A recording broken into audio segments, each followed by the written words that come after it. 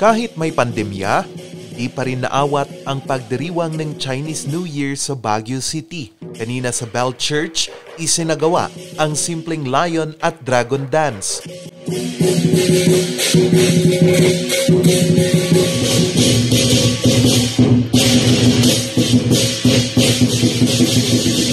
hapon, linunsad nila yung virtual celebration nila ng Chinese New Year through the Association of Baguio uh, Chinese Filipino Youth Incorporation. So daw sila ang nag-lead ng celebration ng Baguio.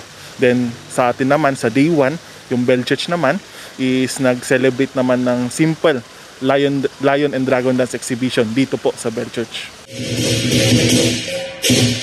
Bago ang pandemya, nagpupunta pa ang grupo sa bawat establishmento sa lungsod para magtanghal.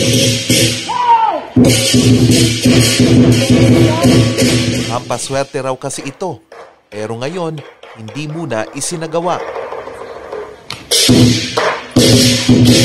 Of the level 3 dito sa City of Baguio at sa buong Benguet, eh, hindi na rin po tayo lalabas para at least sa ating safety ng mga athletes. Tsaka safety na rin ng mga kasama natin para at least hindi na rin sila kan iwas dudumugin, iwas din yung mga spread. At least ma-lower down natin.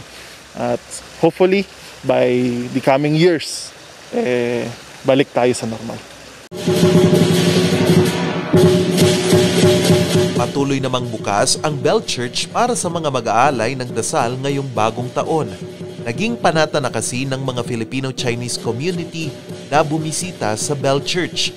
Napaalalahanan naman ang lahat na sundin ang mga health protocol na pinapairal.